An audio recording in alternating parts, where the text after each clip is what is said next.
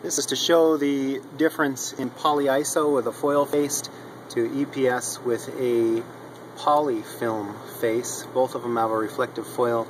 Uh, both of them have identical flame spread index of 20.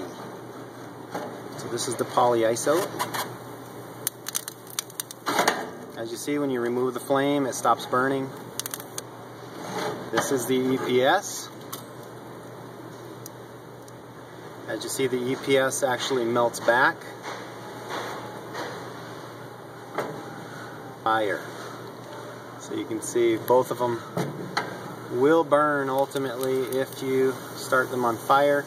The difference is the gas that's given off here above is cyanide gas with the uh, poly and the gas is uh, in, in, is less toxic from the EPS.